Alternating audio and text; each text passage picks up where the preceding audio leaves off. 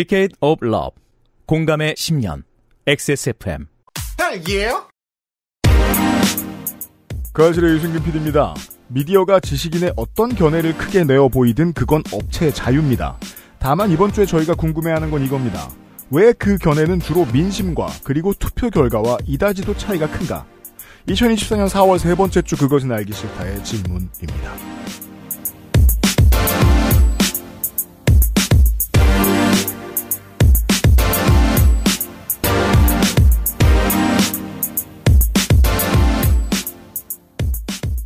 저는 윤세민 에디터와 함께 있고요. 네, 안녕하십니까. 윤세민입니다. 헬마우스님이 계시고요. 안녕하세요, 헬마우스입니다. 한동안 이제 겨울 동안 우리가 이제 한 달에 한 번 헬마우스를 만나면서 어, 그때만 해도 이제 해가 빨리 지니까 네. 헬마우스도 빨리 가야겠다 이런 생각을 했던 것 같아요. 근데 해가 늦게 지니까 정신을 못 차리고 있어요. 지금 네, 계속 그렇죠. 죽을 때까지 떠들고 있는데. 네. 네. 그러니까 해가 져야지 우리가 아, 끝낼 때가 됐구나라는 느낌을 받았는데 네. 해가 길어지니까 끝낼 때가 아직 안 됐나 보다 하고 그냥 신나게 떠들고 있어요. 이렇게 이미 네. 3시간을 떠들었는데 아직 하나가 남았습니다. 이렇게 흥분하는 사람들 중에 이제 우파 시민들을 위해서 네. 어, 자유민주당의 시조인 정규재 씨가 음. 어, 이런 10개를 남겼죠 최근에. 틀튜브 중독을 극복한다. 부정선거에서 벗어난다. 자유민주주의와 자유시장 경제론에 대해서 공부한다. 어, 공부까지 해야 돼. 좌파 친구들과 반드시 대화한다. 나는 이게 제일 웃겨. 한 달에 한 권 이상 책을 읽는다. 얼마나 무식해 보였으면 자기 지지자들이. 엄경영 씨도 이 말만 정규재 선생의 이 말만 들었어도 아. 저렇게 망발하진 않았을 겁니다. 자, 헬마우스 코너 이번 달 마지막 시간입니다. Hello 동지들 가짜뉴스를 hell로 보내 헬마우스입니다. 모멸감을 주고 모욕감을 주고 치가 떨리게 하는 거 거짓말 좀 하지 말란 말이야 이 새끼야 대단한 얘기가 아니에요. 가짜뉴스 만드는 유포자수는 너무 많고 그 새끼를 아무렇게나 만들어도 다 퍼뜨려주고 저 오물들을 치우려면 누군가는 오물통 속에 뛰어들어서 그 오물을 뒤집어쓸 각오냐 가짜 뉴스 확인 과정. 헬마우스 코너. 팟캐스트 에디션. 자, 근데 문제는 정규재 선생이 아무리 열변을 토하든 어, 이런 소위 이제 시류 영합적인 포퓰리스트 점쟁이 저는 뭐 이렇게 얘기를 하고 싶은데 포퓰리스트 에, 점쟁이들의 핵심은 어쨌든 정규재 선생 같은 노땅들보다는 트렌디하다는 거죠. 상대적 트렌디인데 음. 페북이 그래도 정규재의 펜앤마이크보다는 트렌디하니까요. 그렇죠. 그런 측면에서 이분들의 핵심 중에 하나 어쨌든 계속 시류를 따라가야 된다는 겁니다. 음. 그래서 이준석 신당이 잘 나갈 때는 이준석 신당을 빨고요. 음. 조국 혁 신당이 잘 나갈 때는 자기 변명을 위해서 조국 혁 신당을 끌어오는 거죠. 그때 그때 보수 매체들 legacy 미디어의 헤드라인이 뭐냐? 이게 이분들의 말의 방향을 결정합니다. 저 이걸 이제 legacy 미디어의 패턴으로 얘기해 주, 말씀을 해석을 드리자면 이렇게 해석 드릴 수 있어요. legacy 미디어에서 득을 보고 살았던 legacy 미디어의 supply 덕분에 등 따숩고 배불렀던 많은 사람들이 음. legacy 미디어에 오래 있으면 보통 양비론에 빠지고 음. 정치를 오래 들여다봄에도 불구하고 정치 혐오에 빠진다고 많이 말씀드리잖아요. 음, 음, 음. 정치 혐오에 빠진 사람들에게 안성맞춤이었던 패턴의 정치인 안철수 그리고 그 자리를 차지하고자 하는 사람들 음. 어떤 성격을 가지고 있죠? 정치적으로 하고 싶은 게 뭔지 알 수 없고 정치적으로 해온 게 별로 없는데 정치적인 목소리만 큰 사람들 이낙연, 이준석 이 사람들이 그저 자기 자리를 얻기 위해서 만든 정당이 정치혁신이라고 엄청나게 홍보를 해줬어요. 아, 그렇죠. 1, 2월, 3월까지 계속하고 조국혁신당의 돌풍이 불어올 때, 어, 저기서 범죄자가 오네. 요 정도의 적극성을 보였어요. 그랬다가 지지율이 이렇게 나오니까 갑자기 말을 바꾼 건 legacy 미디어도 다 그랬어요. 똑같습니다. 그리고 최병천 씨는 가장 적극적으로 태도를 바꿉니다. 아, 정말 이제 기성 매체가 사랑하는 아, 평론가답게 어, 연합 정치를 하려면 진보 계열이 아닌 이준석 신당과 해야 된다. 이 얘기를 언제 했느냐? 1월 29일 날 합니다. 자, 이 이야기부터 시작하도록 하겠습니다. 잠시 후에. 그것은 알기 싫다는 관절 건강에 도움을 줄 수도 있는 QBN 관절 건강엔 MSM, 안심하고 쓸 수 있는 요즘 치약, 고전의 재발견 평산네이처 진경옥, 아름다운 재단 18어른 캠페인에서 도와주고 있습니다. 요즘 치약은 판매액의 10%를 소아암 재단에 기부합니다. 나누고픈 사람들의 치약. 좋은 치약, 요즘 치약 진경옥은 물을 타지 않습니다. 진경옥은 대량 생산하지 않습니다. 진경옥은 항아리에서만 중탕합니다. 진경옥은 엄선된 원료만 사용합니다. 진짜를 찾는다면 진경옥입니다. 고전의 재발견 진경옥 평산네이처 퇴소하던 날은 정말 기뻤어요. 제가 고대하던 날이었기 때문이었는데 기차가 출발을 하는데 그때 눈물이 나더라고요. 마음 둘 곳이 없다라는 생각이 여러분의 독립은 몇 살이었나요? 보육원의 아이들은 만 18세가 되면 시설을 나와 홀로 살아가야 합니다. 어른이 되기는 아직 이른 나이. 곁에 아무도 없다면 그것은 자립이 아니라 고립입니다. 18. 홀로 어른이 되어야 하는 아이들을 위해 함께 해주세요. 아름다운 재단은 18 어른의 건강한 자립을 응원합니다. 아름다운 재단 18 어른 캠페인. 18 어른 캠페인 새 소식. 아, 입장을 바꾸는 여러 평론가들과 달리 네. 아름다운 재단은 꾸준히 입장을 바꾼 적이 없어요. 그렇죠. 입장을 바꾸지 않고 꾸준히 캠페인을 유지하고 있습니다. 어, 아름다운 재단 18 어른의 새 웹페이지가 오픈이 되었습니다. 고급스러워요. 구경 오세요. 어떤 분들은 이렇게 생각하실 수 있을 거예요. 그래가지고 자립준비 청년에 대한 지원이 확정이 되지 않았느냐 저번 정권 때. 네. 그러면 캠페인 성공으로 캠페인은 접어야 되는 거 아니냐? 네. 라는 의문을 가질 수도 있을 거예요. 네가 자립 청년으로 살아보고 얘기하세요. 왜 아직 캠페인이 필요한가라는 생각을 하실 수도 있겠지만 여전히 18 어른들에겐 많은 지원이 필요합니다. 자립준비 청년의 삶과 아름다운 재단이 지원한 그간의 이야기들 그리고 다양한 내용들이 새 웹페이지에 가득가득 차 있으니까 네. 직접 방문해서 의문이 있으신 분은 그 의문을 한번 확인하시길 바랍니다. 캠페인 후원하기 버튼을 누르시면 자립준비 청년에게 한 걸음 도움이 될 수 있습니다. 18 어른 관련 특집 방송 요즘 공부하느라 제가 정신이 없습니다. 곧 알려드리죠. 그렇습니다. 아름다운 재단이 이 긴 일관성 있는 이 긴 캠페인을 통해서 무엇을 이루고 있는지 직접 확인하시길 바랍니다. 네. 직접 확인해 보시고요. 검색하시면 됩니다. 최병천 평론가의 1월 29일 글 연합 정치를 하려면 진보 계열이 아닌 이준석 신당가 해야 한다. 이제는 이분이 무슨 말만 하면 특히 이제 그게 1월이면은 혹은 2월이면은 걱정부터 되네요. 그러니까 뭐가 뜰 것 같다. 네. 그러면 이제 그걸 끌어와서 자기 논리에 이제 동원하는 방식인데. 이제는 뭐랄까 음. 명탐정 코난의 유명한 탐정 같은 느낌이 들어요.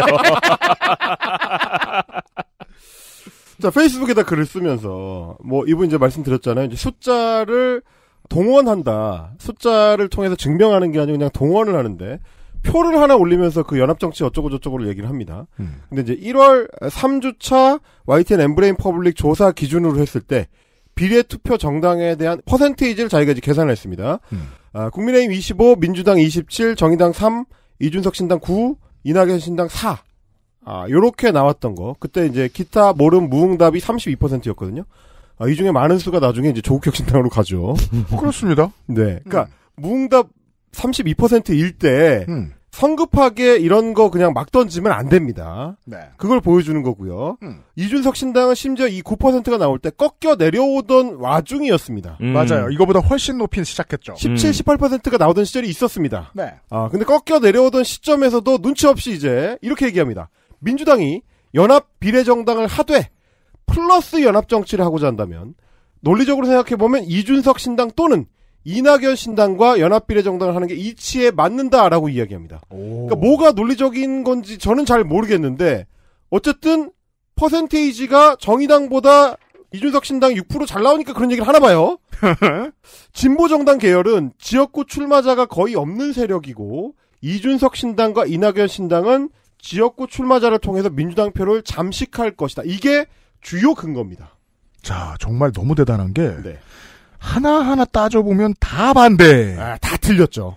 입니다. 다 틀렸어요. 그러니까 저는 이게 뭐냐면 이 앞서서 저희가 어, 앞선 시간에 말씀을 드렸던 소위 어, 갖다 맞추는 점쟁이식의 비평 혹은 비즈니스 이거랑 별개로 그 비평 실력이라는 게 음. 어느 시점에 정치적 흐름을 얼만큼 정확하게 읽어낼 것이냐 이게 정치에 관심 갖고 보는 독자나 시청자들을 위해서 중요한 거거든요. 음. 그 평론가의 말을 왜 듣고 있어야 됩니까? 아까운 시간을 하면서 그 사람 말이 들을만 하고 앞으로의 정치를 볼 때 참고할 만한 지점이 있어야 되는 건데 이렇게까지 틀려버리면은 사실 황당하거든요. 네. 일상 때문에 바쁘신 분들은 기억 못 하실 텐데 정말로 다시 한번 강조드립니다. 1, 2, 3월에 이 사람이 한 얘기 주워다 쓴 기사들 포털 위에 맨날 떴습니다. 음. 전 민주연구 부원 민주연구원 부원장 이러면서 이런 사람 이야기를 갖다 쓴 거예요. legacy 미디어가. 자, 이게 근거가 뭐냐면 지역구 출마자들이 이준석 신당과 이낙연 신당에서 많을 거기 때문에 그리고 격전지에서 어, 민주당 표를 잠식할 거기 때문에 여기랑 연합을 해야 된다라고 주장합니다. 그러면 뭐가 틀렸냐? 1번 이낙연 신당이나 이준석 신당은 지역구 출마자를 거의 내지 못했습니다. 네. 네. 그게 사실은 1번 팩터예요. 근데 그건 왜 그러냐면 원래 그럴 거라고 모두가 예상을 했습니다. 네. 아니 왜 이걸 모르냐고요. 이준석 대표 단 한 사람을 제외하면 그 누구도 민주당 표 가져가지 못했고 출마 그들이 출마한 지역구 거의 대부분 민주당이 승리했어요. 이겼습니다. 심지어 이준석 대표도 국민의힘 표 가져가서 이겼습니다. 그렇죠. 그렇습니다. 그러니까 뭐 일테면 조홍천 의원 연- 아직까지는 남양주 갑이죠. 이원욱 의원, 화성시 정이죠. 어 그리고 뭐 서른 의원, 어 부평 뭐 을인가? 뭐 하여튼 네. 뭐 그렇고. 그러니까 이런 사람들 다 출마했는데 민주당이 되게 크게 이겼어요. 다. 대부분 10% 이하 잠식하고 대부분 민주당이 압승한 지역구들입니다. 최민희 의원 인생 처음으로 압승을 해봤습니다.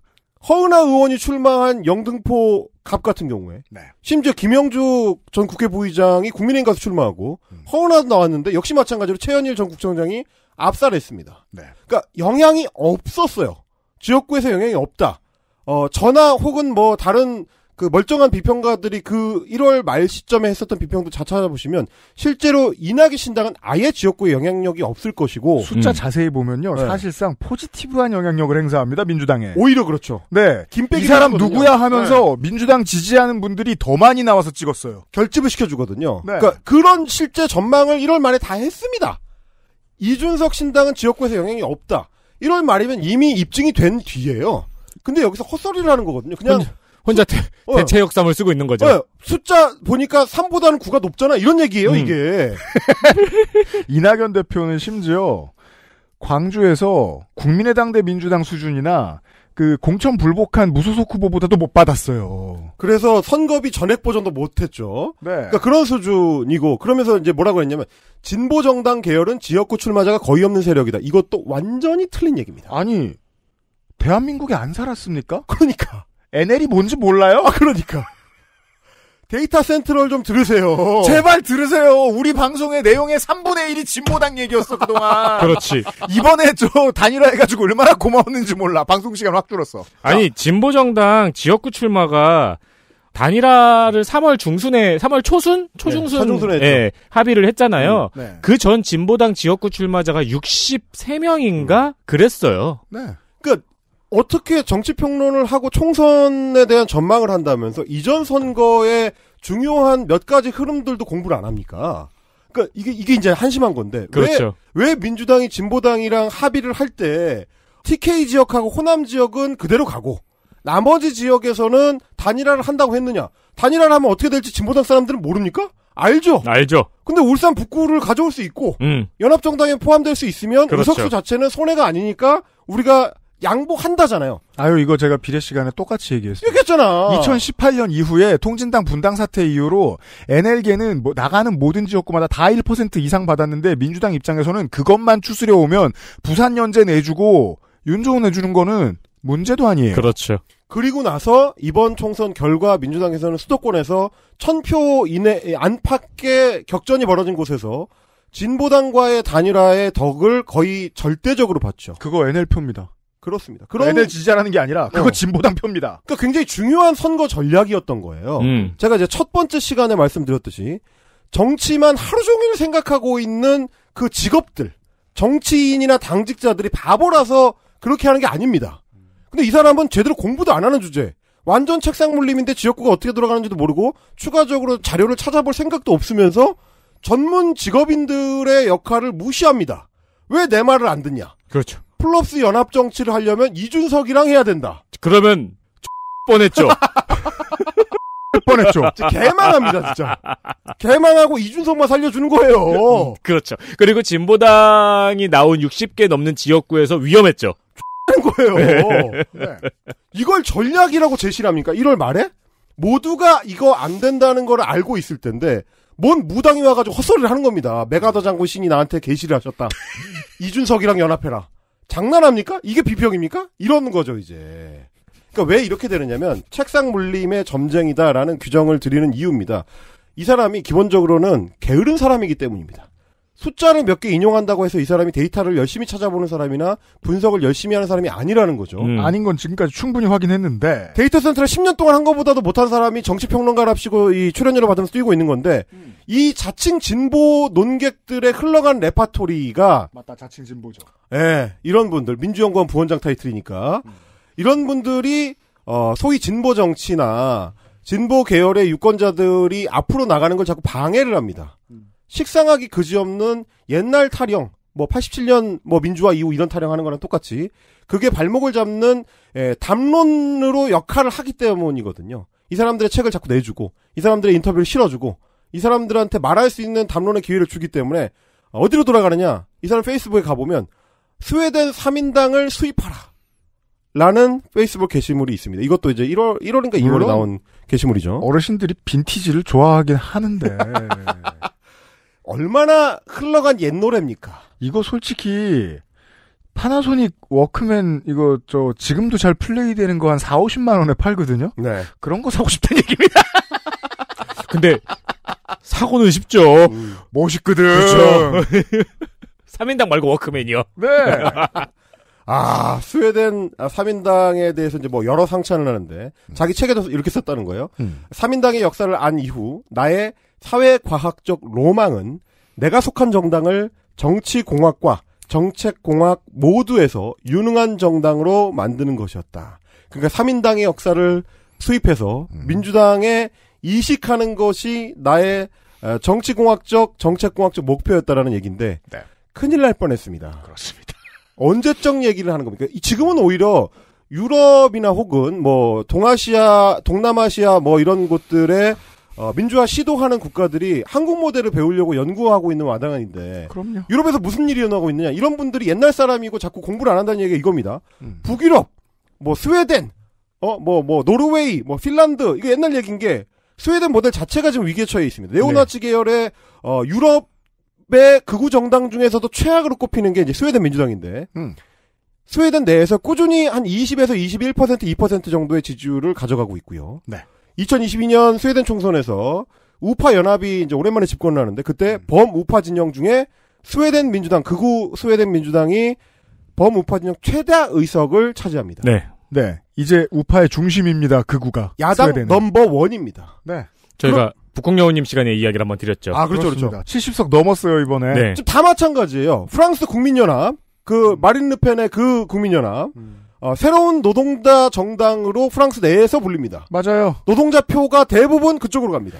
지금 유럽의 서유럽의 2030들은 극우가 노동당이라고 생각합니다. 그렇습니다. 결선 투표 안 했으면 프랑스도 넘어갔죠. 네. 그렇죠. 어 그리고 뭐 이제 독일의 AFD는 말할 것도 없고, 그러니까 음. 다 대부분이 집권 사정권에 들어가 있거나 이미 집권을 했거나. 이게 박노자 교수가 지적한 지점이었죠. 음. 한국 극우는 현재 극우의 열풍하고 트렌드가 너무 다르기 때문에 성공하지 못할 것이라고. 국제 트렌드에 안 맞는 극우이. 요즘 극우는 노동 극우다. 어. 그래서 민족주의에 대한 개념도 바꿔야 된다는 얘기들이 나오, 그러니까 예, 전에 저도 이제 2000년대 초반 학번이기 때문에 대학 다니면, 어, 민주당은, 어, 엄밀히 말해서 유럽에 갖다 놓으면 극우에 가까운 보수 정당이고. 그렇죠. 그래서 뭐 이제 그 뭐 민정당 계열 정당이 없어지고 그 자리를 보수 정당 자리를 민주당이 차지하고 지금의 진보 정당들이 어, 제자리로 가야 된다. 이 레토릭 민노당 때부터 하던 얘기인데 안 맞는 얘기가 된 지 오래입니다. 네. 어떤 보수 정당에서 최저임금을 25%씩 한 해 동안에 올려버립니까? 음. 그런 소위 진보 정당이 하고자 했던 실험들을 문재인 정부에서 했다가 어, 문제적 상황에 많이 맞닥뜨렸던 거를 경험으로 알고 있잖아요. 그걸 이제 다만 한국의 진보 정당이 인정을 안할 뿐이지. 이게 이번 총선의 가장 중요한 지점이에요. 2020년, 2016년, 2024년 저도 이제 최병천 씨처럼 역사 얘기를 해볼게요. 진보 정치의 실험은 그 레토릭이 되게 중요했어요. 민주당을 오른쪽으로 본인들의 색채 원래 색채의 오른쪽으로 완전히 내몰자. 그러면 왼쪽에 우리가 더 큰 정당이 될 수 있을 테니까 그 다음에 양당제를 하든 다당제를 하든 그건 뭐 알아서 하시고. 근데 지난 8년 사이에 민주당이 계속 왼쪽으로 갑니다. 제가 그걸 대표 얼굴들을 가지고 얘기했잖아요. 손학규 내리고 박지원 내리고 정동영 내리고 박영선 내리고 문재인 올리고 이재명 올리면서 음. 그 다음에 또 조국과 이- 우리는 이런 비슷한 얘기를 해야 될 아, 거예요. 그렇죠. 스스로 대놓고 삼인주의자인 조국과 음. 민주당이 점점 왼쪽으로 가고 있어요. 한국 정치의 패턴을 해석을 따로 해줘야 돼요. 옛날 20년 전 스웨덴 얘기하지 마시고. 그리고 그러니까 range가 넓다 그랬잖아요 민주당이. 음. 근데 오히려 오른쪽에 있던 사람들이 잘려나가는 중이죠. 음. 민주당에서 가장 오른쪽에 있던 사람들이. 언제나 공천파동 겪죠? 그러면 왜 오른쪽에 있던 사람들이 잘려나갑니다. 그렇죠. 그게 지난 8년간의 민주당이에요. 네. 그렇죠. 네. 그러니까 이제 문제적이다라고 보는 게 기성 매체들이나 기성 정당의 기득권자들, 그러니까 인사권이 있는 사람들이 자꾸 이런 옛날 개념들, 이게 이미 낡아버렸고 이게 이미 실패한 개념이라는 거를 아직 몰라요. 왜냐면 자기들 공부하던 시절에서 발전이 없는 상태고 추가 공부를 안 하기 때문에 그게 문제가 뭐였는지를 모르는 상태로 최병천 같은 사람들이 자기가 익숙한 얘기를 그럴듯하게 페이스북에 쓰면 이 사람을 인정하고 이 사람한테 자리를 주고 이 사람한테 기회를 줍니다. 음. 그게 어떻게 보면 한국의 담론장이 앞으로 나가지 못하게 지금 방해를 하고 있는 거고요. 그게 명확하게 드러난 게 2024년의 총선 상황이었다라고 저는 규정을 하고 싶어서 업무노와 최병천을 좀 가져와 봤습니다. 노인네들은 정당이라는 게 얼마나 복잡하고 어려운 것인가에 대해서 데이터 센트럴 시간에 늘 설명을 해드리려고 음. 역설을 해드리려고 애를 쓰는데 그걸 말씀드리는 게 쉽지가 않습니다. 트위터나 뽐뿌나 펜코에서 이야기하는 것처럼 몇 사람의 스타와 몇 가지의 정치 아젠다만을 가지고 정당은 똘똘 뭉쳐 있는 거라고 오해하는 사람들은 진상 손님이라고요. 야, 너네 여성주의가 1번 문제 아니었어? 1번 이슈 아니었어? 야, 너네 여성부 지켜야 되는데 아니었어? 한두 가지 이슈만 가지고 말하면 안 된다고요. 너네 노조법 2, 3조 찬성해야 하네. 이것만 가지고 당 하나를 표현할 방법이 없다고요. 그렇죠. 당에는 어마어마하게 많은 다양한 사람들이 있다고요. 음. 그 사람들 중에는 당에 오래 있고 정치만 오래 하다 보면 돈 버는 일도 안 해보고 이준석이 이야기, 아, 이준석이 얘기하는 거야? 천하람이 얘기하는 거야? 누가 얘기하는 거야? 장해찬이 얘기하는 거지? 얘기하는 것처럼.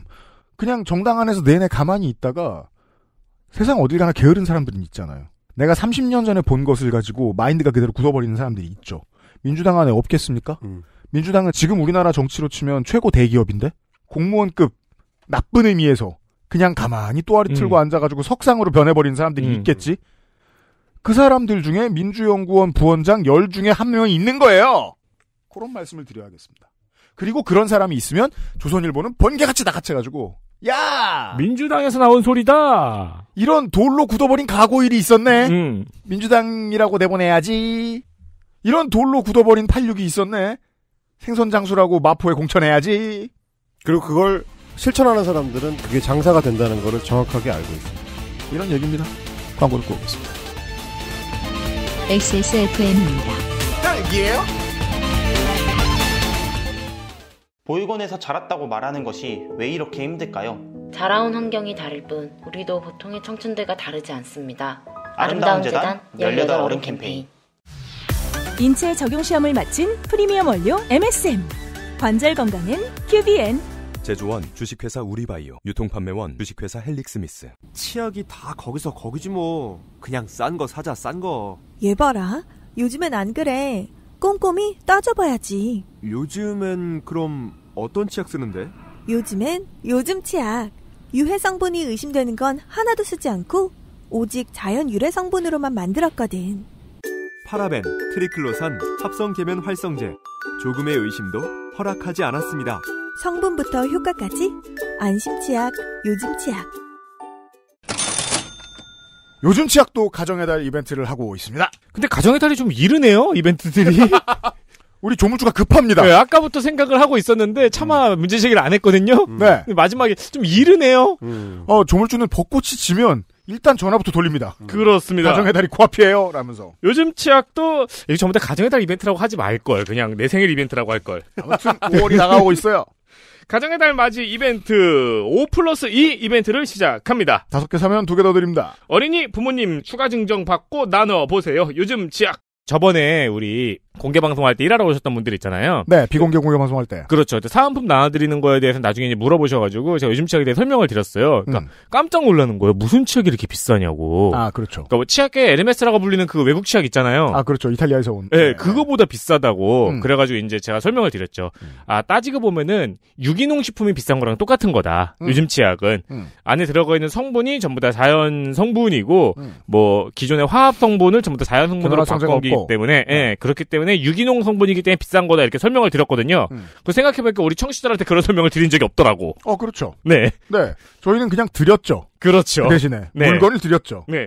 그래서 비싼 치약입니다. 음, 유해성 논란이 있는 성분들을 모두 배제했고 23가지의 고기능성 자연유래 성분으로 만든 치약입니다. 네, 물론 가성비를 생각하시면 활성제가 들어 있어도 문제는 없습니다. 그렇죠. 그러니까 예를 들자면 뭐 자몽 종차 추출물 같은 거 있죠. 네. 그런 걸 집어넣은 겁니다. 그렇기 때문에 아이들 치약으로 아주 좋습니다. 그럼요. 온 가족이 사용할 수 있는 저자극 치약이고요. 게다가 판매액의 10%는 한국 소아암재단에 기부하고 있습니다. 전에 한번 그 말씀 드렸겠죠, 제가? 뭐, 오만 말씀을 저, 뭐냐, 데이터 센트럴 시간에 다 드렸으니까, 요즘 치약을 쓰고 나서부터 저는 치약을 쓴 뒤에 무엇을 먹을지 고민하는 게 사라졌다라고 말씀드렸던 적이 있습니다. 그렇죠. 저는 혼자 사는데 한 번에 오픈해 놓은 치약이 4개거든요. 네. 하나는 회사, 음. 사무실, 음. 하나는 운동 가방, 그리고 하나는 샤워 부스, 하나는 세면 부스. 그러니까 치약은 원래 여러 개가 필요합니다. 맞습니다. 네. 5 플러스 2 이벤트 놓치지 마세요. 액세스몰에서만 있어요.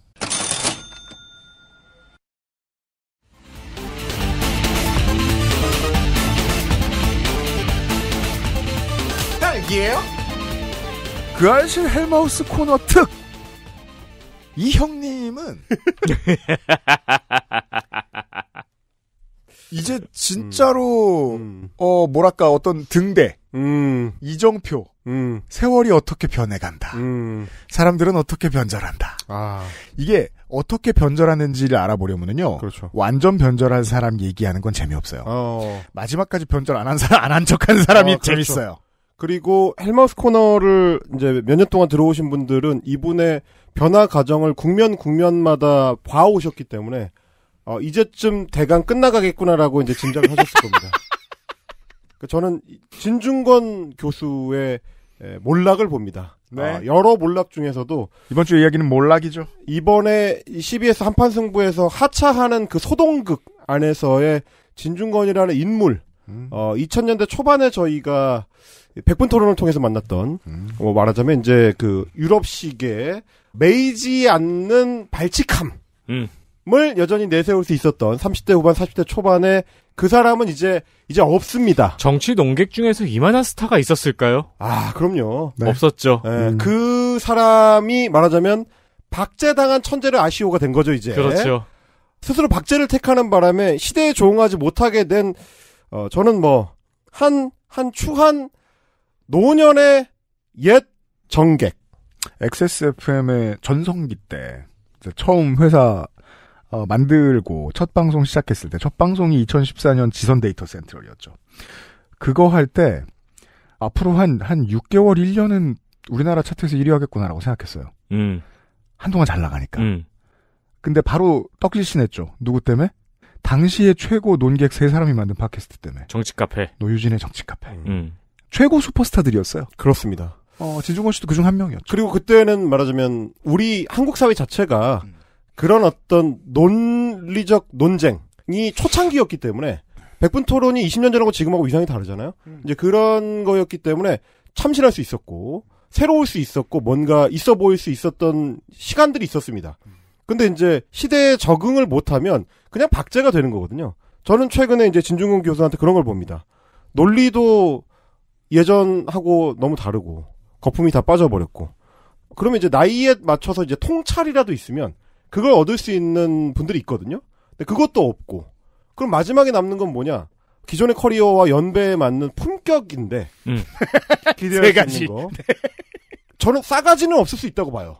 그래도 품격이 있을 수 있거든요. 그 서로 상치되는 게 아니기 때문에 싸가지 없는 품격이란 게 있습니다. 있죠.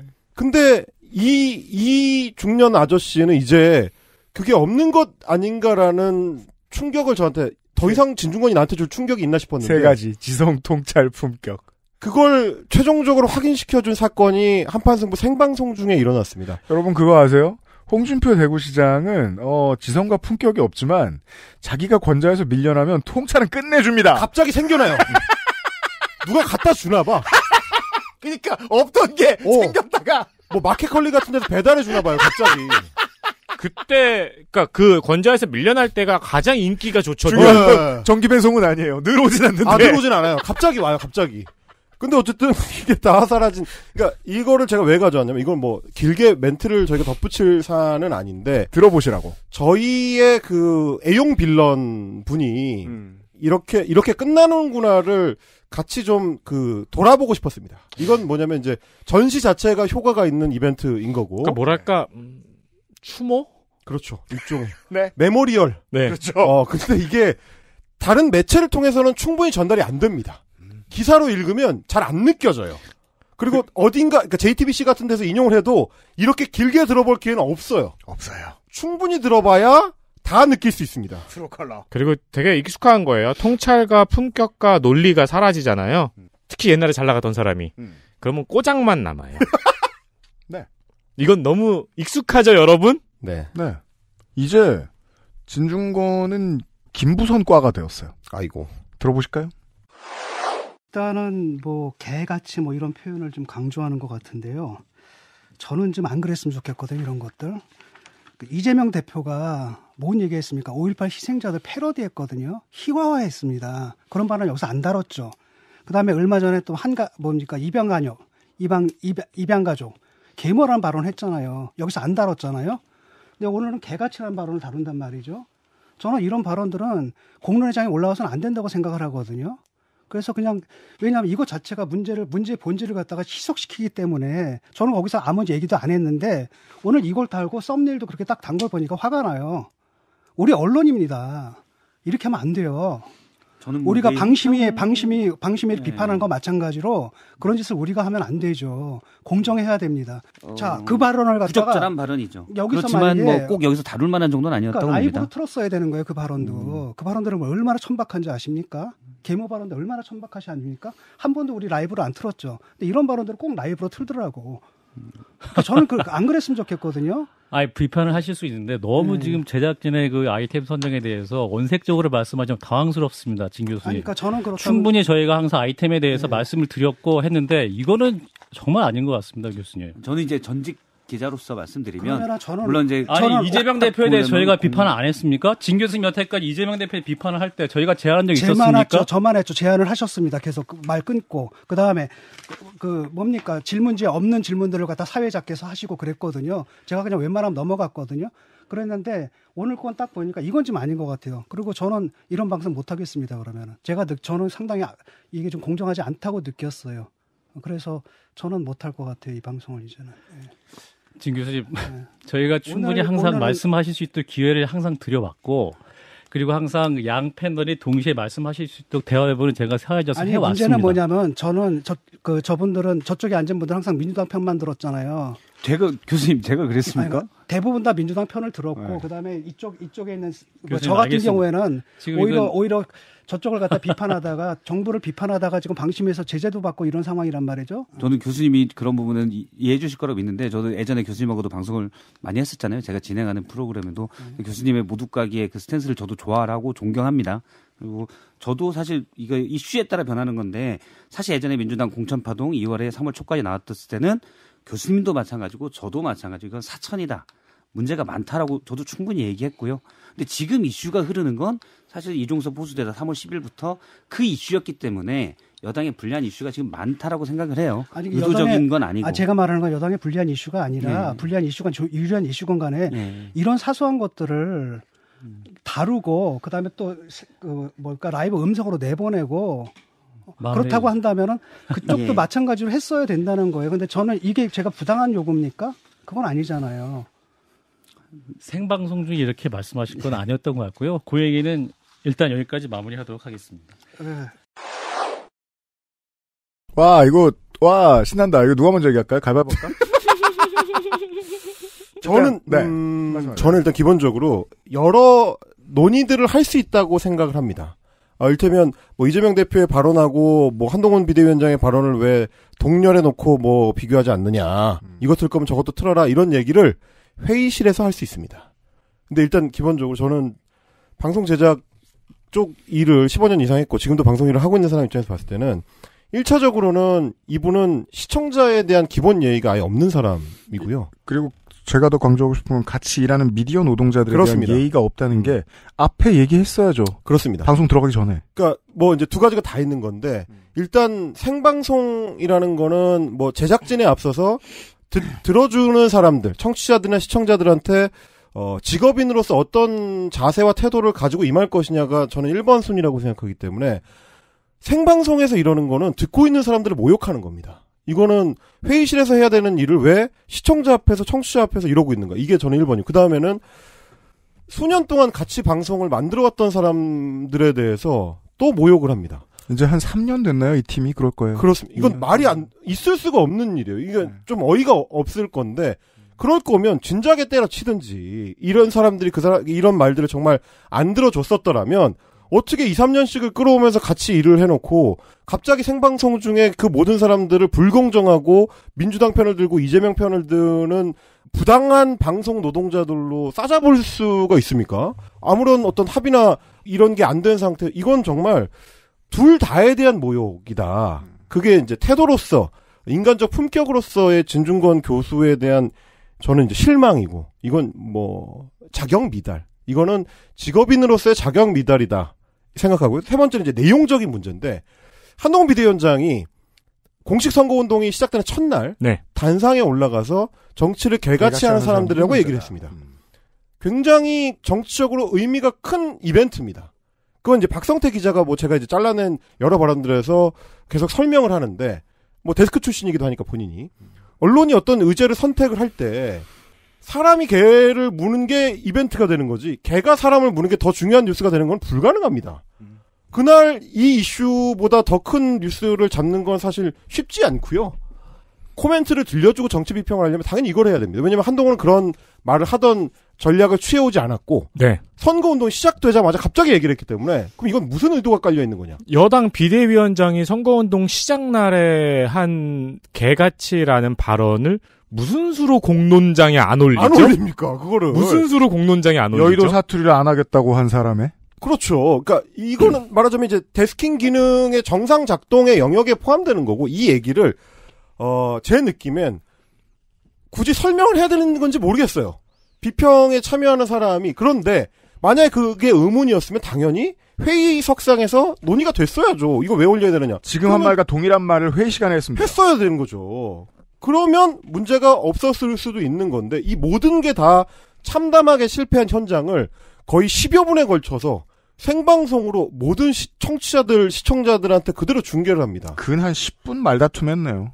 저는 저는 이거는 그냥 하나의 하나의 사고고 어, 비평가로서 진중권이라는 직업인의 어, 최종적인 실패 그리고 한국 사회의 어떤 20년의 종말 그런 느낌을 강하게 받았습니다. 그리고 두 가지가 궁금하네요. 이재명 대표의 마- 막말도 있었다. 를 평론으로 하면 되지. 아, 그렇죠. 그냥 이재명 대표의 막말도 있었다라고 그렇죠. 평론을 하면 되고 1번. 그렇게 하면 되는 걸 왜 굳이 이걸 제작진에게 항의로 표현을 했느냐 궁금하고 두 번째가 이런 말은 공론장에 올려서는 안 된다고 하잖아요. 음. 이런 말을 공론장에 올려서 뜬 사람이잖아요.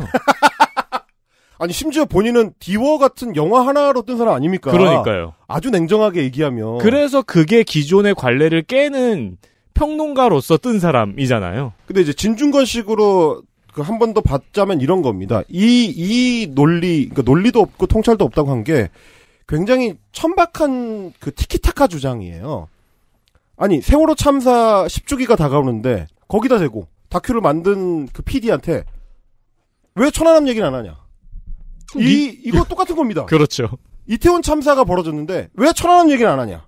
오송 지하차도 참사가 벌어졌는데 왜 천안함 얘기를 안 지겹게 봤던 펨코나 뭐 DC 인사이드 같은 데서 반복되던 이게 논리인가요? 이, 이런 거는 공론장에 올라오는 공론이 아니거든요.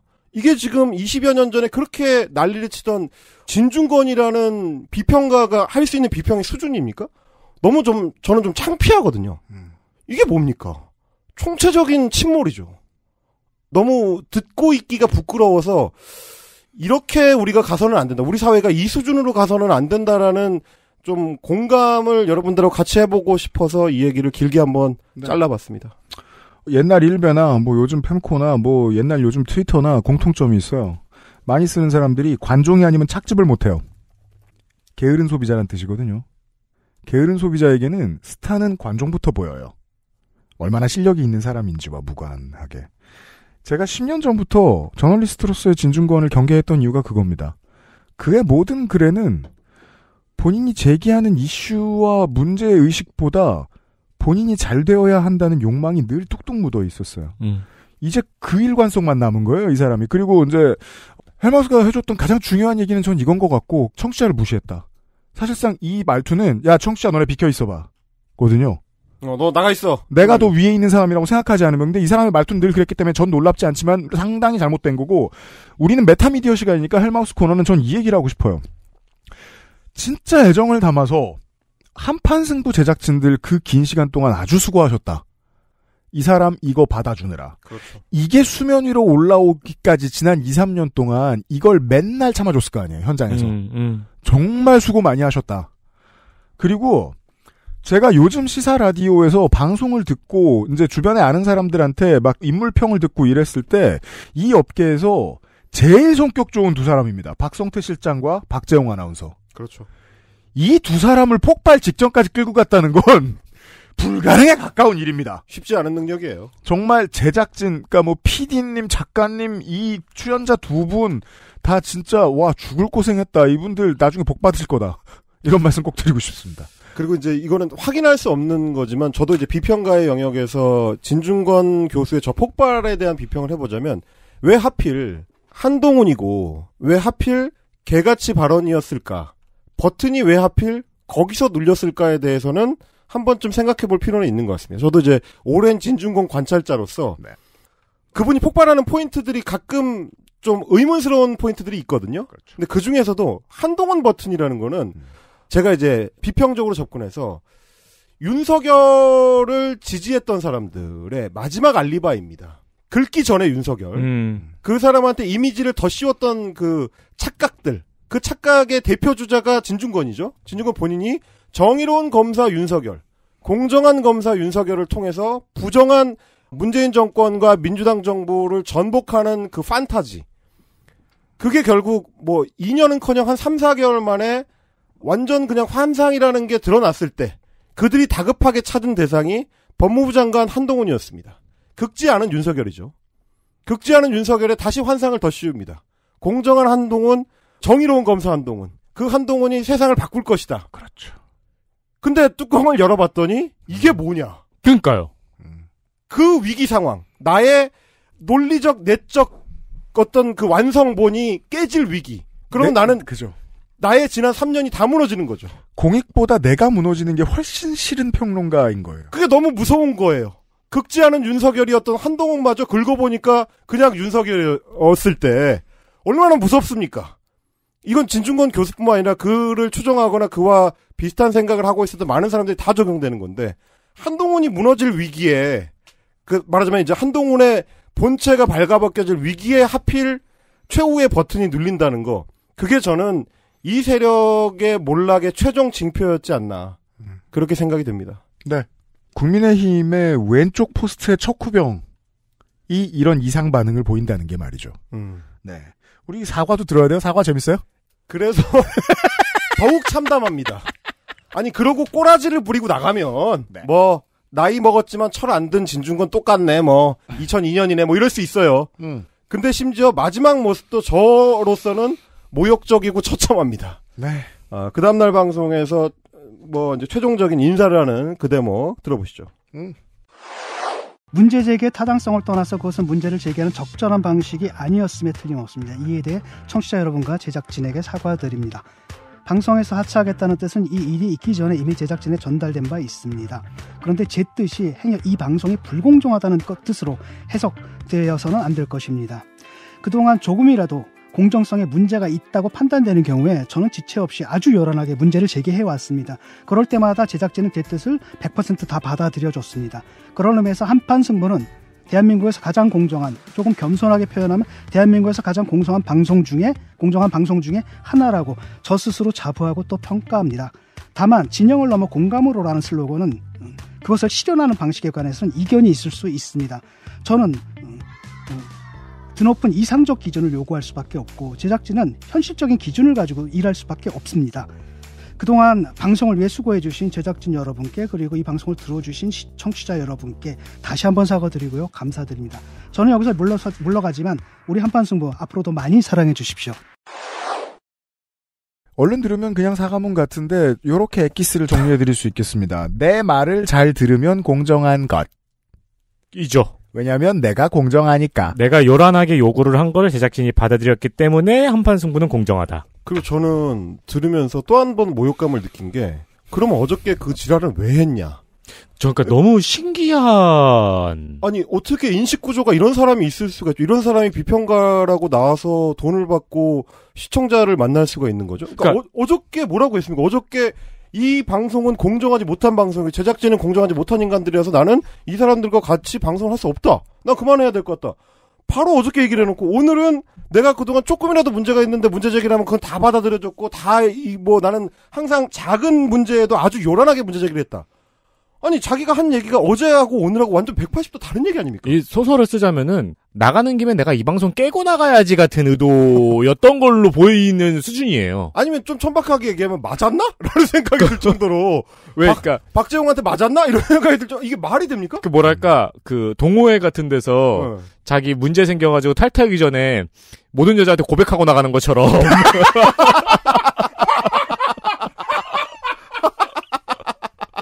나가기 전에 이 방송 여기 깨고 나가야지 같은 느낌으로 그러니까 여러분 기억하시겠지만 헬마스 코너 시작할 때 제가 이제 극우 유튜버들을 이야기하면서 이 사람들은 공론장에 나올 자격이 없는 사람들이다를 이야기할 때 지적 정합성과 정직성을 말씀을 드렸어요. 근데 지금 보세요. 진중권이라는 논자는 둘 다 없습니다.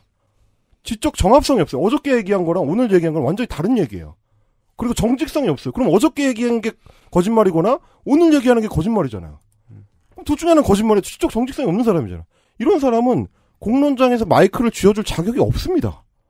거짓말쟁이를 어떻게 평론가라고 할 수 있습니까? 지금까지 낸, 헬마가 내놓은 세 개의 추측 중에 가장 맞아 보이는 건 어제 맞았다밖에 없어요. 이렇게 싹싹해지려면 저기 그 이 프로그램 하반승은 CBS 프로그램이죠. 언젠가 CBS PD들과 저녁을 먹었습니다. 이런저런 걸 제가 물어보죠. 원래 저 같은 사람들은 뭘 자꾸 물어보죠. 오랜만에 밥을 먹고 이러면. 근데 CBS에서 일하는 PD들이 진짜 되게 착해요, 다. 이렇게 말씀하시는 거예요. 진중건 교수님은 이지 리스닝은 아니시죠. 그 나는 아 거기에도 거짓말은 없네요. 그 저게 무슨 소리야? 하드락이라는 거야. 뭐야? 그- 그랬다가 이날 딱 깨달았습니다. 개 지랄한다는 뜻이었어요. 그리고 진짜 아 이 이 이제 개저씨들의 특징 중에 하나인데 끝까지 앉으려고 하는 단서를 꼭 남기고 싶어 합니다. 아니 보세요. 이것도 사과를 한 것처럼 흉내를 내지만 뭐 어떤 분들은 이제 이날 이제 진중권 교수의 이제 손가락 그거를 얘기를 하더라고 이 말하면서 계속 불안하게 손가락을 두들기는데 뭐 그것도 이제 심리적 징후일 수 있지만 그보다는 저는 단어의 선택들 문제 제기의 타당성을 떠나서 적절한 방식이 아니었다. 그러니까 내 문제 제기는 타당했답니다. 그죠. 그러면 사과문 안에서도 문제 제기가 타당했으면 이 제작진은 불공정하다는 얘기잖아요. 근데 대한민국에서 가장 공정한 방송이래. 앞뒤가 안 맞는 얘기를 같은 시간 안에서 해요. 그리고 실현하는 방식에 대해서는 이견이 있을 수밖에 없는데 저는 이상적인 기준을 제기하는 사람이고 제작진들은 현실적인 방송 현실을 고민할 수밖에 없는 사람입니다. 그러면 나는 이상주의자고 그러니까 내 말이 맞는데 현실적으로 제작진이 이렇게 주장해서 할 수 없다. 여전히 이 방송 제작진은 불공정한 성향이다. 현실적으로 제작진은 불공정한 방송을 만들 수밖에 없는 현실에 있는 그렇습니다. 것을 이해하마. 아. 왜냐면 나는 이상이 높고 맞는 말만 하는 지식인, 고고한 지식인이기 때문에. 그러니까 제가 목요일에 김규황 씨의 글을 소개해 드릴 수밖에 없던 겁니다. 50을 먹고 60을 먹어도 철이 들지 않는 지식인들. 세상에서 내가 제일 옳고 모두가 지식의 성취의 수준에 있어서 내 발밑에 있다고 믿는 사람들. 뭐 여러 고민을 했었어요. 진중권 교수가 그동안 이제 총선 정부에 했었, 했었던 말 같지도 않은 비평들이 엄청 많기 때문에 그걸 잘라다가 놀려줄까 뭐 이런 자료도 모으기도 했었는데 원고를 쓰다 보니까 다 좀 허망하더라고요. 이런 사람한테 무슨 어 그 정도의 시간까지 우리가 쓸 필요가 있는가? 왜냐면 이제는 저는- 시간 아까워요. 예, 저는 약간 약간 이 마지막 방송들에서 모욕을 느꼈기 때문에 어 그 정도의 감상으로 우리가 이제 이 사람을 끝내자라는 생각이 좀 들었고요. 그러니까 되게 저도 안타까워요. 진중권을 두 번 울거먹을 수 없어요. 이제는 네. 우리가. 그 저희가 처음 지적했을 때 그때 정도에 우리가 이제 진중권과 관련해서 공익적인 얘기는 거의 다 한 것 같아요. 다만 오늘은 되게 문학적인 의미가 있네요. 그렇죠. 네. 서글픕니다. 일이 아. 된다. 그리고 네. 이분은 이제 방송을 하차한 뒤에 음. 여행을 떠나셨습니다. 아 그래요? 쿨하게. 아, 어. 그리고 페이스북에 여행 사진들을 이제 하나씩 올리면서 감상을 덧붙이시더라고요. 아 그렇군요. 그것까지 정말 제가 싫어하는 음. 한국 계저씨의 완성형이다. 저기죠. 정신승리죠. 아 정말 정말 좀 수치스러웠다라는 말씀을 드리면서 자 네. 지금까지는 세 명의 비평가들 이 비평가들을 어, 기성 매체들이 어떻게 부끄럽게 인용하는가에 음. 대한 이야기였다면 끝으로 legacy 미디어 본체. 그러면 기성 매체 지 본체는 멀쩡하냐? 그게 아닙니다. 이 legacy 미디어들이 적어도 이제 저희처럼 미디어의 속성에 맞춰서 방송 attitude를 바꾸는 거는 이제 직업인이라고 치고 매체가 그러면 안 되잖아요. 그렇죠. 매체는 자기가 방송을 만들든 지상파 방송을 만들든 신문을 만들든 유튜브 방송을 만들든 같아야 됩니다. 그게 논조라는 겁니다. 음. 아 근데 조선일보는 유튜브로 가면 유튜버가 됩니다. 그렇죠. 아 신기해요. 자유로운 transformation. 어, 그 하나의 어, 인격적 지성인 거죠. 조선일보라는 인격적 지성.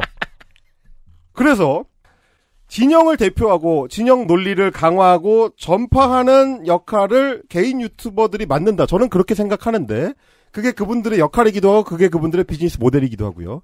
그게 저는 뭐 호오는 있어도 잘잘못을 명확하게 따지기 애매하다고 생각합니다. 음. 그런 유튜버도 있죠. 진영 논리 없이 이제 중간 값을 잡아서 말하는 분들도 있죠. 어, 그러나 다 그럴 수는 없습니다. 그렇죠. 왜냐하면 유튜브는 수신료를 받는 매체가 아니니까요. 음. 공공성을 띌 수도 있고 없을 수도 있습니다. 근데 기성 매체, 소위 구독료를 받거나 신문 구독료를 받거나 혹은 이제 그 공중의 전파를 이용하거나 이런 게 본체인 매체들은 좀 달라야 된다고 저는 도덕적으로 생각하는데 조선일보란 이름을 걸고 있으면 그건 안 되죠. 예. 난 조선일보인데. 그러니까 조선일보의 직원 한 명이나 부장 한 명이 개인 개인 유튜브를 하면 돼요. 유튜브를 하거나 그 짓- 아니면 그뭐 짓을 최우민이 했으니까요. 많이 봐줘서 어. 자회사면 아 그렇죠.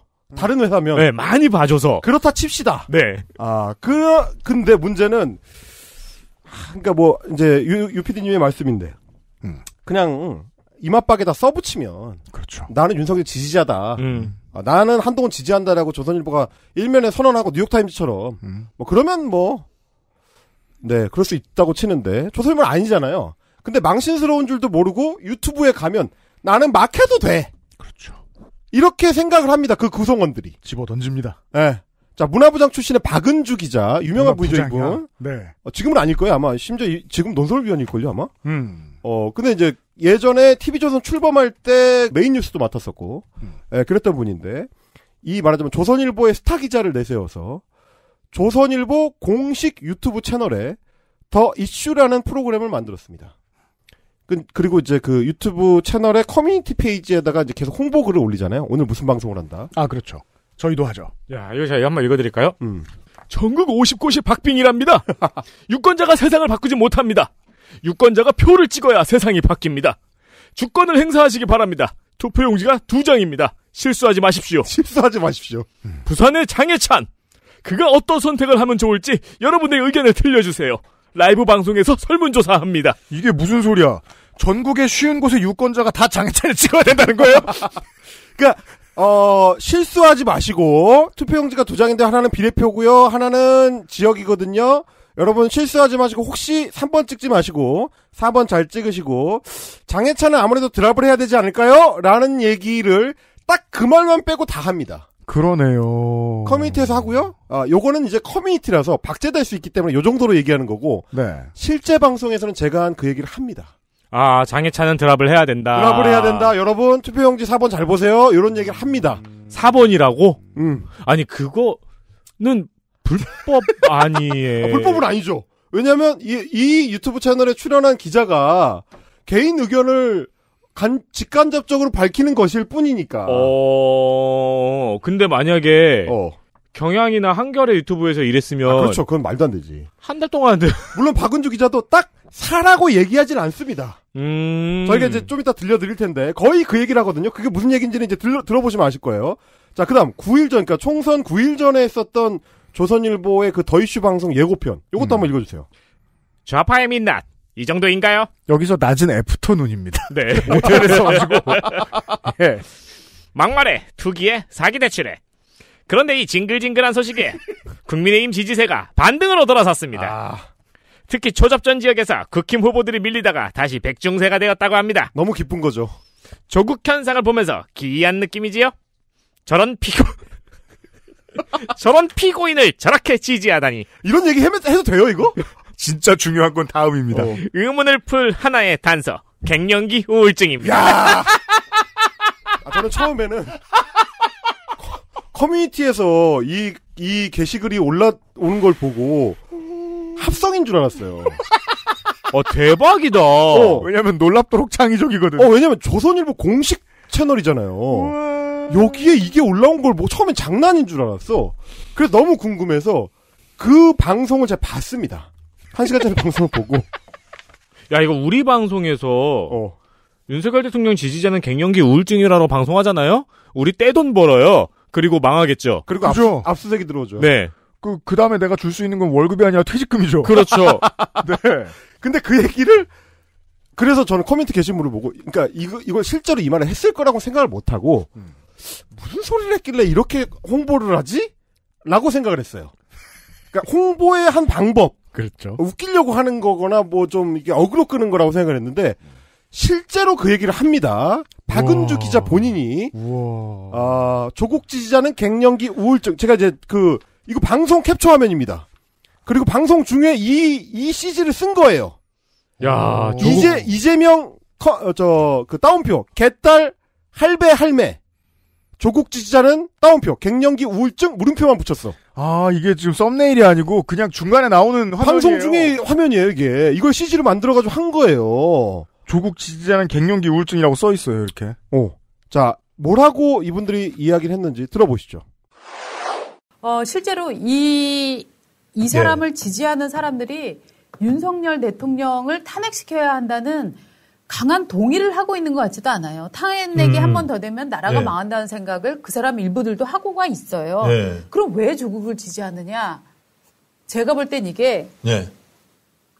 진짜 죄송합니다. 듣는 이 4050 남성분들한테 죄송한데 제가 볼 때는 갱년기에 빠진 4050 한남들의 우울증의 이 갱년기 우울증의 부작용으로 저는 조국이 띄워지고 있는 것 같아요. 그러니까 제가 이제 문화부나 네. 이런 이미지 부분을 많이 네. 봤잖아요.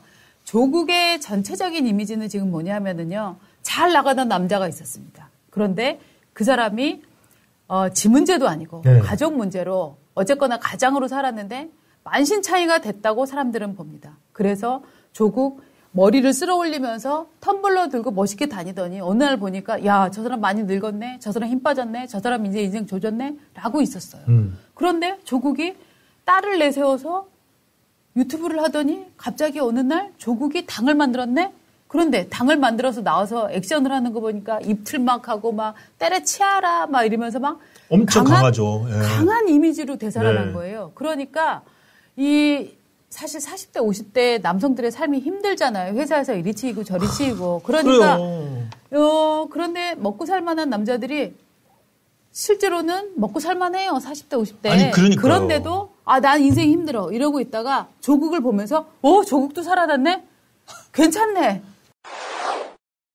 아니 이게 어 모든 게 다 정치적으로 글러먹어서 되게 익숙하게 쓰는 표현으로 보이는 한남이라는 글러먹은 단어는 문제가 되어 보이지도 않을 정도예요. 충격적, 그러니까 이거는 지금 기자가 할 수 있는 발언이 아니거든요? 이거는 이건 엄밀히 말하면 정치 비평도 아니잖아요. 그냥 뭐 제가 이제 종합적으로 보자면 비난. 어. 일종의 빨갱이 몰이에요. 그러니까 조국을 지지하는 그 집단은 이상한 사람들인 거죠. 빨갱이 몰이가 어. 그래도 역사와 전통이 있다고 생각이 드네요. 네, 우울증 한남 몰이보단 난 것 같습니다. 그리고 그걸 모욕적으로 표현을 해야 되니까 갱년기라고 하는 겁니다. 그러니까 이 사람들은 이상하고 기괴한 어떤 집단인 거예요. 그렇게 규정을 하고 싶어서 그럴듯한 스토리텔링을 덧붙였는데 아무런 근거도 없고 그냥 자기 뇌피셜로 저 사람을 모욕하기에 가장 효과적인 방법을 동원할 뿐이죠. 이거 아직도 있네요. 썸네일 조국당 지지율 갱년기 팬심. 아니 이게 되게 되게 신기한 게 조선일보는 남자 기자는 여성 혐오하고 여자 기자는 남성 혐오하네요. 아 그래서 그래서 섭섭할까봐 여성 혐오도 합니다. 한쪽만 할 순 없지. 4050 남성도 있고 여성도 있잖아요. 둘 다 합니다. 역시 언론이야. 아 공평하게 둘다 네, 혐오해 주거든요. 역시 언론이야. 역시 조국 4050 지지자는 이 사람들이 뭐라고 생각하는지 들어보시죠. 그래서 저는 이 사람의 이 팔고 있는 것이 무엇인가. 음. 저는 기본적으로 조국은 어떤 정의를 지금 팔고 있지 않고, 네. 어, 이, 이게 비슷한 건지 모르겠는데, 사필 귀색 이런 개념에 예. 저는 정서를 지금 팔고 있다라고 생각을 하거든요. 네. 사필 기색. 네. 사필 기색 하면 뭐라고 그러니까 굉장히 이제 이 남성적인 섹스 네. 어필한 이런 부분들을 좀, 좀 팔고 있는 게 아닌가 하는 어, 이미지가 그거는 사실 네. 조국 지금 유세장이나 네. 그 조국 법정에 갈 때도 보면은 네. 그 지금 기억나십니까? 그 차 닦아주던 그 여성들. 예, 예. 그러니까 이게 보면은 개딸들보다 조금 연령이 어려요. 네. 4050은 중년 여성들이에요. 맞습니다. 그리고 개딸들은 저희가 지난번 체포영장 가결될 때 국회를 둘러쌌던 그 네. 사람들 보면은 약간 약간 할머니를 곧 앞두고 있는 사람들이 네. 개딸이라고 하고 있고 예. 그거보다 좀 내려온 4050 중년들 민주당 지지자들이 네. 상당수가 이분들인데 거기에 어필하기 위해서 저렇게 나와가지고 어 내가 턱걸이를 무반동 턱걸이 다섯 개나 합니다. 아니 그래서 또 뭐 자기 이런 뭐 얘기하고. 감옥 가게 될 건데 감옥 예. 가면 거기서 뭐뭐 프랭크하고 뭐 운동하겠다 계속 그런 얘기들을 그렇죠. 하고 있지 않습니까? 예. 전형적이죠, 이제. 그리고 이제 이 사람들이 이렇게 몰이를 해가는 걸 보면 모욕적인 단어들을 일부러 선택해서 이제 규정 짓는 방식이에요. 4050의 중년 여성들을 가장 이상해 보이게 할 수 있는 소위 무지성 지지로 몰아갈 수 있는 뭐 사필 귀신 이런 단어를 뭐 이게 뭐 말이 되는 거예요? 아니 그건 중요하지 않아. 그리고 뭐 할배 할매 뭐 이런 식의 이제 표현들. 그러니까 이 사람들이 고령층이고 상대적으로 연령대가 높고 이 사람들의 지지에는 이유가 없고 그래서 정치적이거나 지성에 따른 지지가 아니라 조국의 섹스 어필? 아니 이게 이게 지금 기자들이 지지 집단이나 혹은 유권자 집단을 향해서 할 수 있는 말인가? 이게 정치 비평인가? 그러면 본질적으로 우리가 얘기했던 최병천이나 엄경영이나 진중권보다 더 못해요. 이런 수준의 사람들이 legacy 미디어에서 데스크 역할을 하고 논설위원을 하고 20, 30년 조선일보에서 일하면서 내가 1등 신문의 기자다. 이런 시늉을 해왔던 사람들이 지금 민낯을 그냥 유튜브 가면 다 드러내는 거죠. 정말로 정말 어 여지없이 다 벗어 던지고 있는데 그 문명인으로서의 음. 외피를 제가 궁금한 건 지금 조국 하나를 싫어하기 위해서 여혐과 남혐을 동시에 하는 이게 이제 우리가 가끔 이야기하는 횡코와 워마드의 미, 뭐, 미친 아, 그렇죠, 그렇죠. 아, 그렇죠, 그렇죠. 아니 봐요 사람은 톨프이자 탈레반일 수 있는가 아, 그렇지. 이런 실험적 도전 아, 정확하네. 와 대박 그러니까 그냥 총체적으로 망한 거예요. 제가 왜 몰락이라고 했느냐? 이 집단이 같이 망합니다. 진중권만 망하지 않고 윤석열만 망하지 않고 총체적으로 망하는 거예요. 이게 이게 뭡니까 지금? 그리고 이제 유피디님이 항상 이제 강조하시는 어차피 그럴 거면 이맛박에 써붙이고 해라. 네 그걸 안 하지 않습니다. 이거 장난 아니야 방송이 끝날 때 뭐 노골적으로 자기 지지층을 격려하면서 끝냅니다. 들어보시죠. 자, 여러분, 저는 정말 여러, 저 조국 씨가 너희들 쫄았제 라고 얘기할 때 네. 정말 돌려주고 싶어요. 네가 쫄았구만. 네. 진짜예요. 니 쫄았지? 네. 예. 일희일비 하지 마시고요. 아, 투표 날만 기다리시면 됩니다. 지금 쫄았겠죠? 많이 힘들죠. 네. 이럴 거면 그냥 어, 최병천이나 엄문화처럼 차라리 그냥 비평가를 한다고 나와서 유튜브 출연을 하시든지 그지. 기자 타이틀을 달고 심지어 여전히 데스킹을 하면서 혹은 논설을 쓰면서 이렇게 하는 게 뭔가 싶어요. 이거는 이제 이분들에게 이해되게 설명해 드리자면 조선일보가 조선일보의 기자들이 이런 유튜브를 한다는 건 무슨 뜻이냐면 한겨레 TV에서 국장급들이 사장난 천동을 하고 있는 것 같은 겁니다. 맞네. 성한용 기자가 와가지고 사장 납품을 하는 거잖아요. 예. 그러면 한다 뭐 이러는 거 아니야 성한용이. 그래서 저 성한용 기자가 계속 오창 미터 사진 보여주면서 그렇죠, 자, 그렇죠. 그게 뭔지는 어. 어, 심약하신 분들 검색하지 마십시오. 그렇죠, 그렇죠. 김한 기자가 옆에서 추임새 넣고. 이게 그러니까 진보 언론의 비, 대비해서 보면 이게 얼마나 말도 안 되는 짓인지 아, 어처, 어처구니. 없는 거죠. 맞박에 써붙여도 이 정도는 안 됩니다. 이렇게 할 거면 그냥 맞박에 어, 써붙이고 그 퇴사를 하셔야 된다. 이런 말씀을 드리고 싶은 거고요. 네. XSFM입니다. 딸기예요? 여행 많이 다니자던 아내. 중학교 올라가는 첫째. 늘 내 걱정뿐인 우리 부모님. 사랑하는 사람들을 위해 늘 건강하자는 그 말. 꼭 지키고 싶습니다.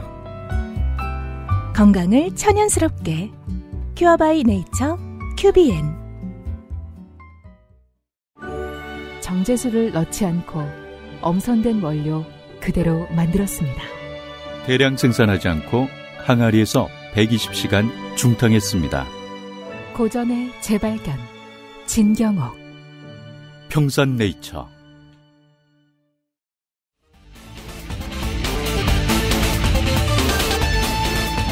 딸기예요?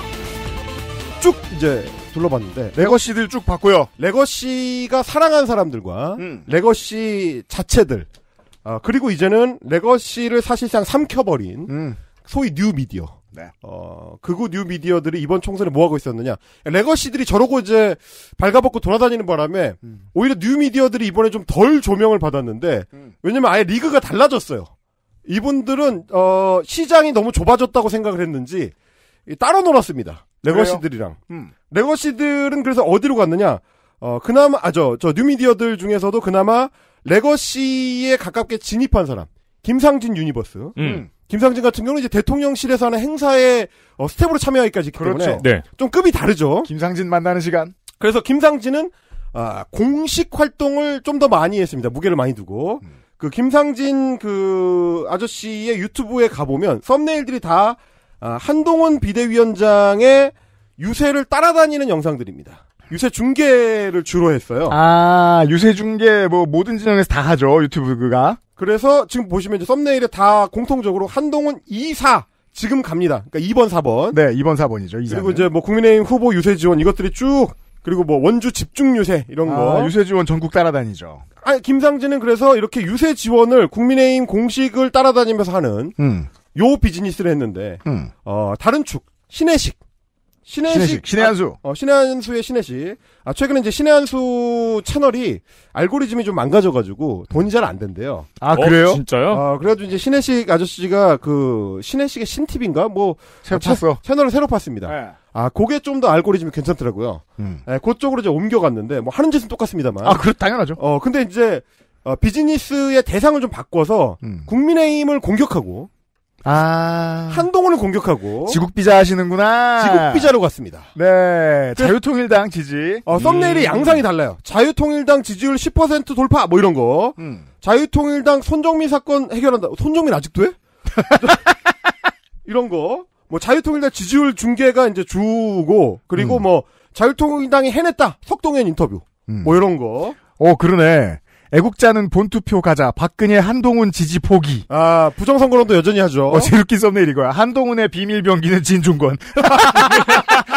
이게 무슨 소리냐면 한동훈을 믿지 말라고 하는 말이에요.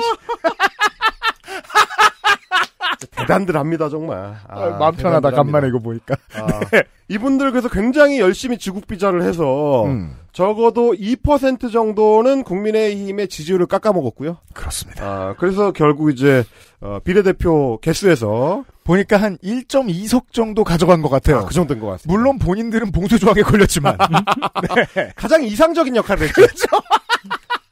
아름다운 퇴장. 마이너스 1.2를 만들어줬어요. 깔끔하게. 그리고 이제 한국에서는 극우 보수 기독교 계열은 2% 정도가 한계다라는 걸 다시 한번 입증했습니다. 맞습니다. 자, 음. 정말 이게 우리나라 민주주의가 좀만 다채로운 다른 양상으로 진행됐어도 이런 얘기 안 할 텐데 음. 지금까지 대한민국 민주주의의 매우 중요한 효자 상품 어. 봉쇄 조항입니다. 아, 봉쇄 조항. 봉쇄 조항으로 정말 많은 악당들이 걸러졌어요. 극우 유튜버들은 여전히 이제 그래서 희망이 없다. 인데 희망을 찾은 분도 있어요. 극우 유튜버 계열 중에 이제 성공한 사람. 아, 그죠?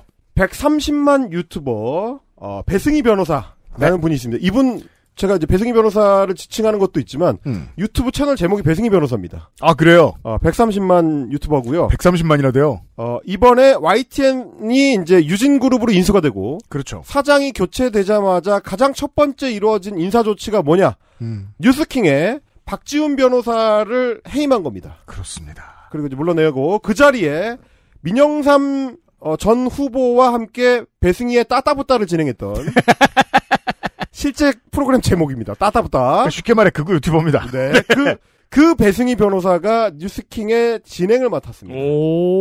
지상파 라디오에 진출한 대놓고 극우 유튜버. 어, 남천동에서 한번 이제 재미로 한 적이 있거든요. 음. 이동관 universe가 펼쳐지면 음. 온갖 극우 유튜버들이 지상파에 진출할 것이다. 음, 그렇습니다. 아, 그래서 뭐 황보승희 환승연애 뭐 이런 그렇죠, 거. 그렇죠, 그렇죠. 개그였습니다, 여러분. 다시 한 번 말씀드리지만 뭐 최국의 뭐 더 라이브 뭐 이런 거. 그죠?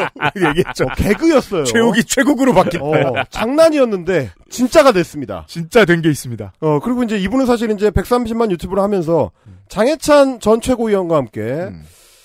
좌파타파 채널 이름이에요? 아 이게 이제 프로그램 제목이 매주 했습니다 매주 좌파타파 네. 배승희 장해찬의 좌파타파를 음. 했었는데 지금도 하고 있습니다. 제가 아, 지금 몇 가지 이제 깰마우스가 이야기하는 홈페이지들을 들어가 봤거든요. 음. 그 유튜버들을. 그 세상에 많은 세상이 있네. 여기선 졌어요. 아 유- 민주당이 졌어. 네. 대체 현실이죠. 대체 그러니까. 아이고 키워놓냐? 현실. 어. 세상에. 아니 그게 아니고 분위기가 3일 전부터 업데이트가 없는 게 약간 공통점인데요. 그건 그렇죠. 그건 그렇죠. 그건 그렇죠. 그래서 사실 이제 그 배승희 변호사 채널 같은 경우는 썸네일을 굉장히 후킹을 잘해요. 저는 이- 이번에 캡처하면서 약간 그 놀랐던 게뭐 이런 썸네일이 있습니다. 민경우 긴급 분석. 일주일 안에 판세 바뀐다. 곧 윤석열의 시간이 온다. 한동훈 공격 대상은 조국이라고? 뭐 이런 거. 어, 재밌을 것 같잖아. 그러게요. 일주일 만에 어떻게 판세가 바뀝니까? 요런 거라든지. 아니면 이거. 끝까지 XX 치고 있네? 이 다운표로 들어가 있고요. 음. 이재명 기겁. 당황한 이유. 이유가 없어요. 그러니까 들어가 보고 싶게 만드는 거죠. 네. 어, 일테면 뭐 아니면 아 이게 제일 재밌다. 재판부도 당황. 이러고 이제 느낌표가 붙어 있고. 아 맞아 이거 진짜 이상해. 이재명 재판서 응응 응응. 검찰 이게 무슨 소리냐? 아, 나도 궁금해. 이게 무슨 소리일까? 아 무슨 소리죠 도대체? 아 이런 식의 아 이런 식의 썸네일들로 이게 여러분 YTN의 진행을 맡기 전이 아닙니다. 맡고 난 이후의 방송 썸네일. 와, 진짜요? 유튜브를 지금도 하고 있습니다. 충격적이고요. 어, 이런 사람이 그분- 진행자로 어, 그분은 다음 주 월요일에도 YTN로 출근을 합니다. 또 다른 썸네일 보여드릴까요? 하필이면 이날 이재명 이러고 어딜 갔나 윤 행보에 진심 묻어놨다. 어딜 갔다는 거야? 너무 궁금해. 이러고는 뭐지? 어쩌고? 뭐 이런 거. 이게 다가 아니다. 41억 수임료 말고 더 박은정 이종근 충격 행각. 어. 조국 혁신당 이렇게 끝나나? 야 이런 것들. 자, 우리 진영 매체에 대해서 그러니까 우리가 저 헬마우스 코너 시간에 제가 꼭 이런 거 어떻게든 비교해 드리려고 애쓰는데 음. 진영 매체가 양쪽에 다 있습니다. 여러 그렇죠. 쪽에 있어요. 민주당 쪽 진영 매체에서 이 정도 썸네일 낸다. 그런 사람은 공중파에 출연 못해요. 패널로도 못 나가요. 못 나가죠. 그런 사람들이 있죠. 예. 그 사람들 그런 사람들은 이 정도 하기 시작한 다음부터는 다 잘렸어요. 그렇죠. 그건 명확하죠. 예. 네.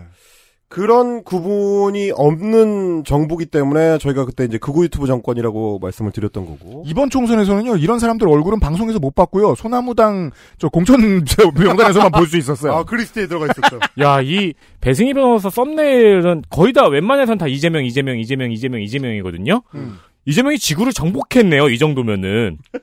네. 어둠의 개딸이라고 하죠. 어. 이랬는데도 살아 있을 수가 있어 이런 인간이. 음. 그러니까 이제 사실은 그래서 비평가나 평론가들의 역할이 저는 나름 중요하다고 생각하는 게 현장의 이야기하고 그거를 이제 보고 판단을 내려야 되는 유권자들이나 시민들 사이를 연결하는 가교 역할을 정확히 해줘야 되기 때문에 음. 뉴 미디어에서의 역할, 지상파에서의 역할, 지면에서의 역할을 자기가 잘 판단해서 그때그때 필요한 역할을 해줘야 그게 직업입니다. 저는 그렇게 생각하고. 어, 오늘 소개해드린 분들, 그러니까 3일 동안 소개해드린 분들처럼 뭐 해설이 의미가 없어지고 목적이 개념을 뒤집어 버리는 사람들 그런 사람들은 돈을 주면 안 됩니다. 혼자 떠드는 거랑 아무 상관 없어요. 음. 근데 이 사람들을 채용을 해가지고 이 사람들한테 자리를 주고 어, 다른 사람의 마이크를 뺏어서 이 사람한테 대신 쥐어주는 거는 말이 안 된다. 그래서는 안 된다라는 말씀을 드리는 거고요. 소위 legacy 미디어에 나와서 그 정치 비평을 했었던 사람들 중에서 제가 막 어떤 라디오 프로그램에서 가장 어이없었던 게 비평가 4명을 모아놨는데 그 사람들이 이제 이재명과 민주당의 비명횡사 공천 자기들 표현대로 그걸 이제 비평하기 위해서 그때 어, 박광온 전 원내대표가 수원에서 경선 해가지고 졌을 때 물론 충격적인 결과였지만 그때 민주당의 경선 흐름으로 봤을 때 불가능한 일은 아닌 일이 일어났습니다. 근데 그거를 자기들 틀에 맞는 익숙한 방식으로 해설을 하고 싶은 거예요. 원내대표 출신의 박광온이니까 이 결국 한동훈의 수원 벨트 전략이 먹힐 것이다. 그래서 박광온처럼 named 이 사람은 삼선의 원내대표 출신인 수원의 key man인데 사실상 수원의 영주인데 이 사람을 날리고 나서 수원 벨트에서 민주당이 과연 이길 수 있겠냐 매우 어려워질 것이다라는 비평을 합니다. 수원의 영주라는 말을 해요? 그 비슷한 말을 했던 취지인데 네. 어쨌든 키맨이다 이런 얘기인데 전혀 아니고요. 어, 일단 박강원 원내대표는 수원 출신도 아닙니다. 아니 너무 부풀리는 거잖아요.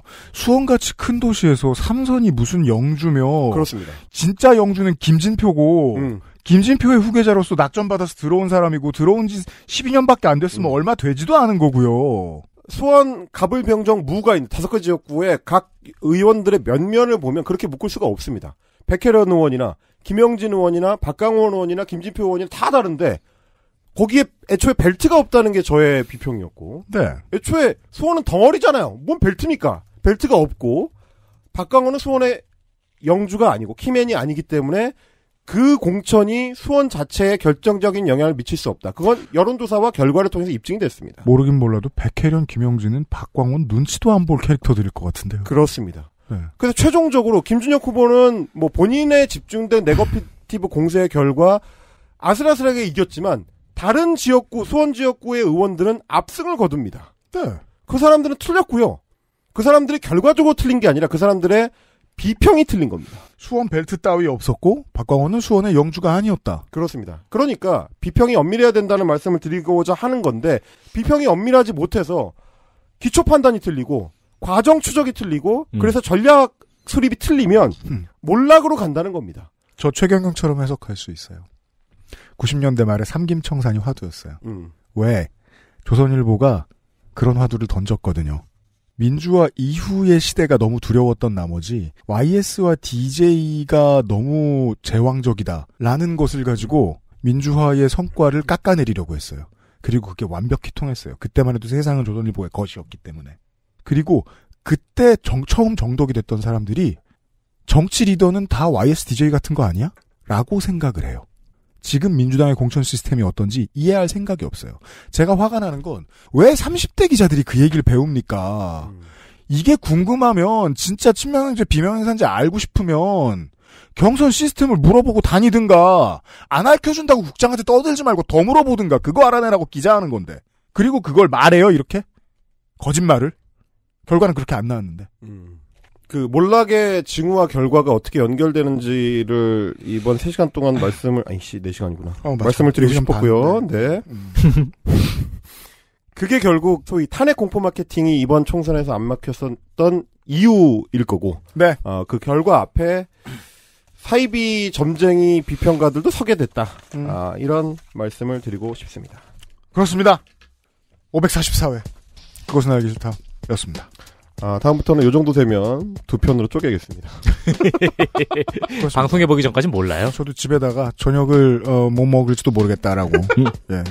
내 밥을 남기지 말라라고 미리 말을 해두겠습니다. 다음번에는 이 26, 6페이지 정도를 보면 말입니다. 자. 아 근데 이미지가 많아가지고 금방 끝날 줄 알았거든. 에마스님 수고하셨고요. 저희 물러갑니다. 다음 주에 일단 평일에 손이상과 함께 돌아오도록 하겠습니다. 네. 544회 그것은 알기 싫다였습니다. 안녕히 계세요. 고맙습니다. 감사합니다. XSFM입니다. I D W K 딸기예요?